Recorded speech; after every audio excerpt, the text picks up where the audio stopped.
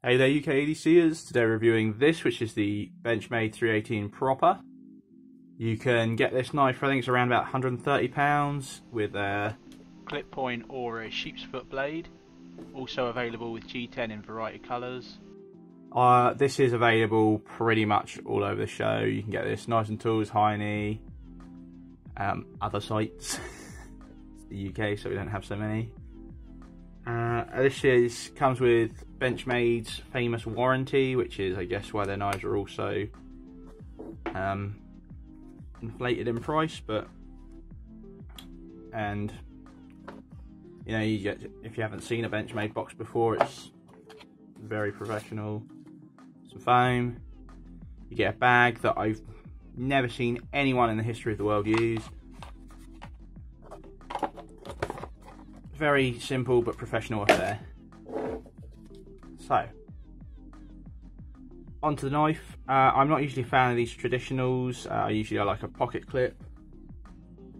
Uh, as this doesn't have one, um, I've sort of had to use this because I don't have other things in my pocket and I don't want I don't want them banging against it or anything like that because I know you're not supposed to have anything else in your knife pocket, but just because of the nature of where I work, I need to have other things in my pocket. So if it doesn't have a pocket clip, uh, I, I can't just leave it loose in there. Uh, luckily I bought this on Heinnie for like three quid or something like that. It originally came with a flap, but this didn't fit in it. So uh, cut that off, and that works fine. Uh, I added the lanyard because it just makes it easier to just yank out of there. So that's how I'm carrying this. Um, I bought this mostly because I like Benchmade. I've got the the 940, which is a fantastic knife um, that I can't carry. So there's there's not many options, but Benchmade released this. Uh, I really actually quite like the look of this. It's got some small finish issues and things like that but it's still a really satisfying knife to use, especially for a non-traditional fan like me. Uh, I can see, I don't know if you can see in there, you've got the blade stop to stop uh, blade wrap. Thank you Slick Slicers for educating me on that one. And it's just all around quite pleasant, like a, this is my first micarta as well, which is another reason I got this. Um, and it's nice. So the action on this to open is you got your half stop, which does stop there, which is somewhat annoying to me, but since I mean, I, I have put a um, thumb stud on here to make it one hand opening. And you know what? It just does not suit this at all. Uh, it sort of ruins the look of some of the other ones I have. This one it destroys it. It just, I mean, you can put it right in the middle of them butterfly wings, and you can open it like that. But oh, I just thought, screw it. I'll just use this like you're supposed to. So it's very much an affair of that. And then that, uh, I like the nail nick on this one. It's, I'm not a super fan of traditional nail nicks, you know, like with the big thing coming down here. I just, Where'd that go? Like that. That kind of a nail nick. Um, I don't know, I just... I think that looks ugly to me. But to each their own. I think that's a much, much more pleasing design. This is a very modern slip joint. Or very modern traditional. Washers are quite clearly phosphor bronze in there. The hardware on this is very limited. It's just three Torx screws. I believe they're all the same size. Certainly look it. Uh, what would they be? Do you know what? I'll go check. Yep, that's a huge plus from me. They're all, it's just three T6 pieces, and all three of them are captive. That's incredible. That's right up my alley. Love that. Um, scales on this are micarta over steel liners, which have cutouts in them to save weight, I guess. And yeah, I, I really like that micarta. I like the machine they've done on it. I don't don't get me wrong. I can certainly see some. Mm, there are places where they fucked up a little bit. Uh, I don't know how well the ca camera's going to be able to capture this, but like this side's got a little gouge out of it, like where they just machined it a little bit too much. And certain, like same there, certain parts of this aren't exactly even. I mean, it's minor. It's really minor stuff. It's just you know, that sort of price range, you can start to sort of expect to have it a little bit perfect. But uh, I guess that's the nature of the butterfly tax. Um, obviously, it's got a lanyard hole because I've used it.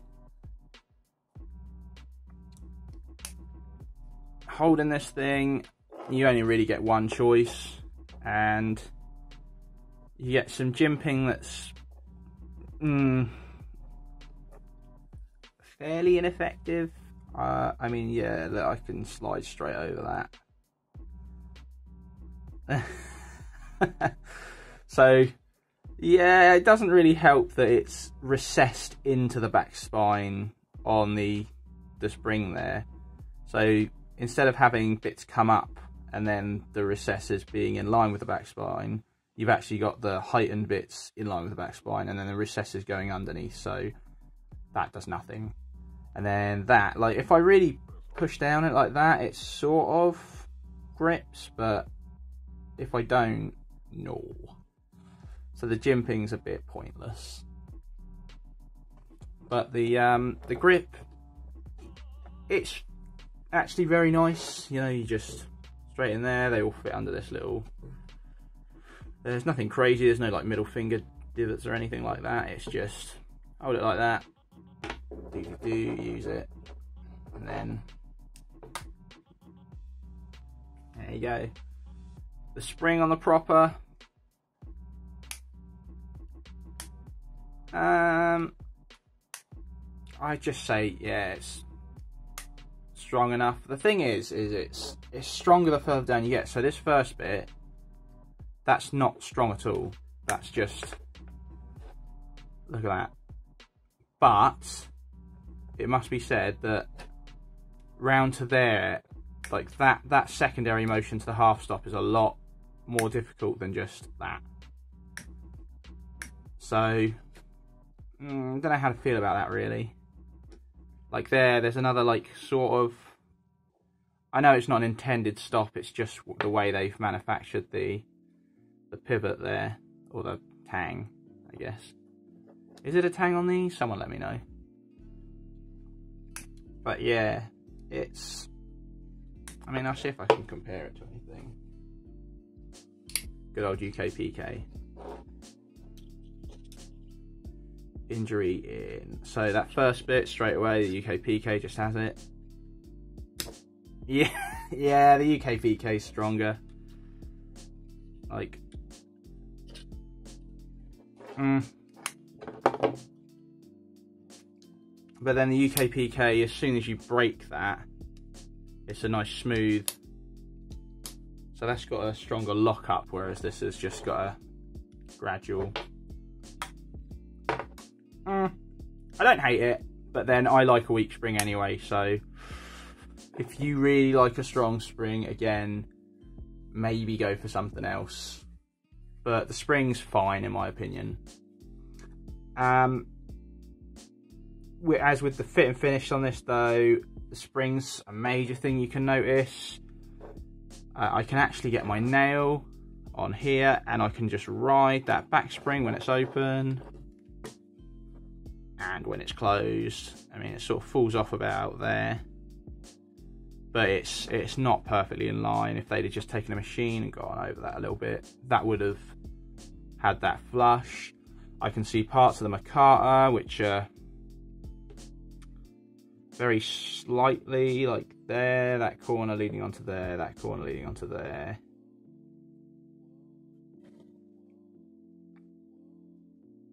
You know, they're very, they're very small niggles. It's nothing crazy, but like I said, once you, um, once you start hitting the over the 120 pound mark, you, in my opinion, you can start looking at these things and being like, okay, guys, I mean, this is a simple enough blade. There's nothing, there's no crazy features. Like you don't have an AXIS lock or uh, anything like that. But, you know,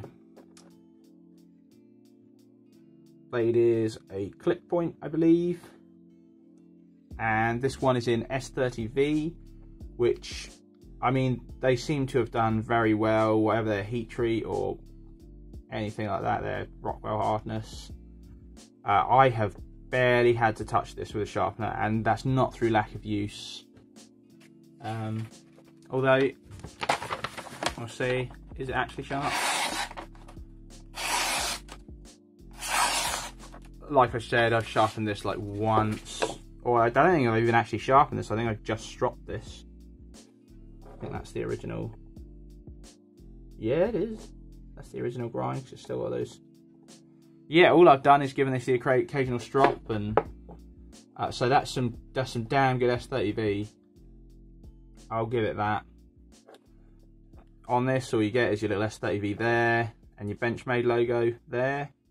Nothing else. No made in wherever or anything like that. You get yourself a little sharpening choil here, which I'm very, very happy about. And the centering on this, I haven't taken this apart yet, by the way,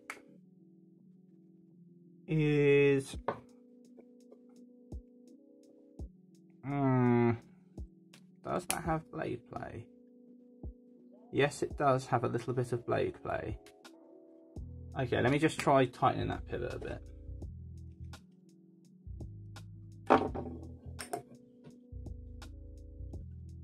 Okay. Okay, the blade play's gone. Maybe the pivot was just loose. You know, that happens over time, I guess. Maybe Benchmade didn't want to pay the extra for some Loctite. Um, yeah, so the... If you want blade play, the centering can be dead on. If you don't want blade play, the centering is going to be somewhat off uh, in that direction. So, I think everyone expects that of Benchmade at this point. so as for the size on this thing, I'll put all the stats up on screen again. I'm fed up of doing it on screen, all the stupid things. But uh, for a comparison, there's that one that we had earlier. Um, have a little wasp and it, it's just a, it's a bit boring in the UK doing this one because they all tend to be about the same size. Just because of our knife laws are so extremely restrictive. Gets a bit more fun ooh, once we go to the old American side of things. So yeah, as always, it's smaller.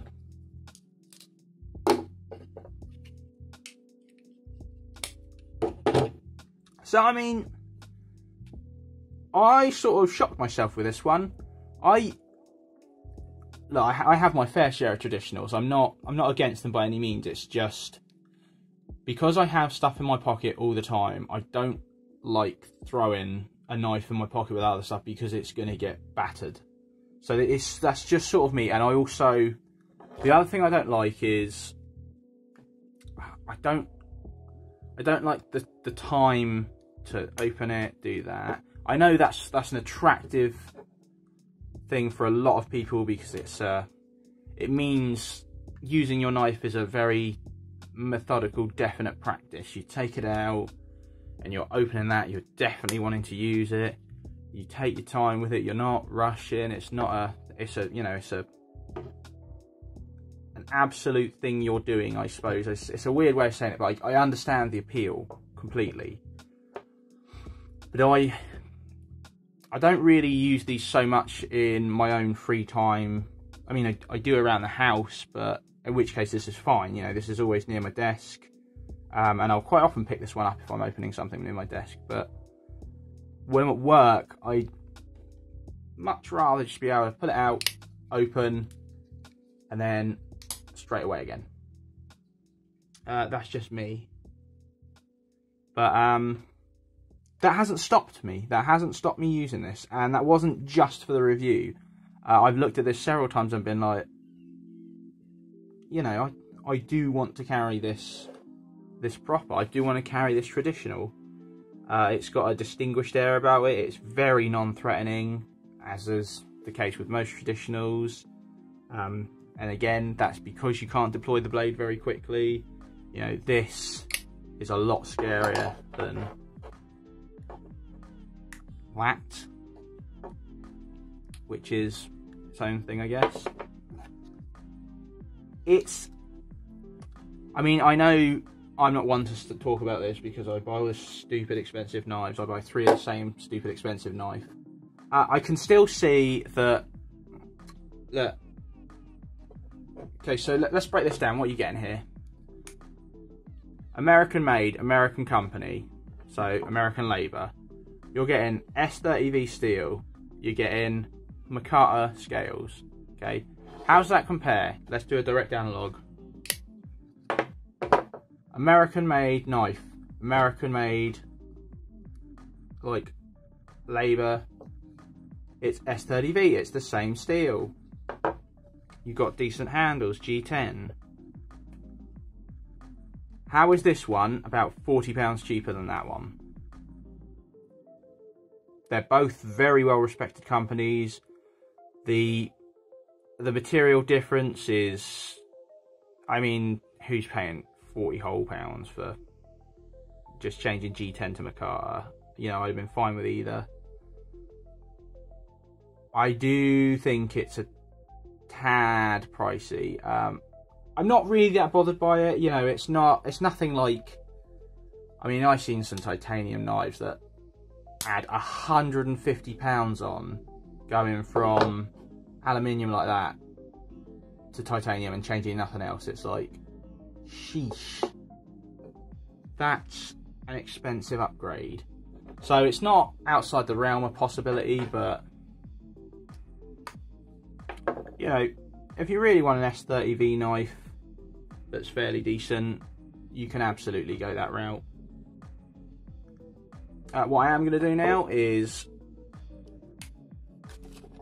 I haven't done this yet, so I'm just going to give this a little disassemble. I like to do this with all of my knives. I just like to see how they operate inside. I'm a bit weird like that. I just love to know.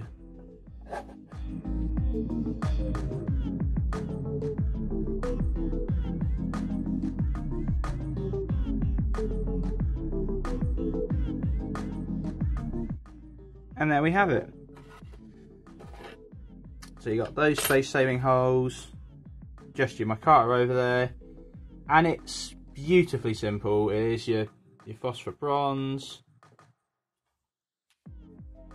and it's a, that's a fat old spring, and you can see that's your stop pin there, so when it closes, that stop pin just, wouldn't you know it, stops the blade from hitting the back spine there. So yeah, um, if you're looking for a traditional, there's many better ones you can get out there. Much better materials uh, for a lot less. You can even get some custom ones. Uh, Paddy had a guy, uh, Paddy's Potato Peelers had a guy that was doing custom made slip joints with nicer materials for less money, which, I mean, you can't, if you're getting a custom for less than this, what's the point in this? But, I mean, it's a trusted brand with a great warranty. Yeah, they'll do their lifetime blade one if you trust sending your knife to America and believe that border control won't just seize it.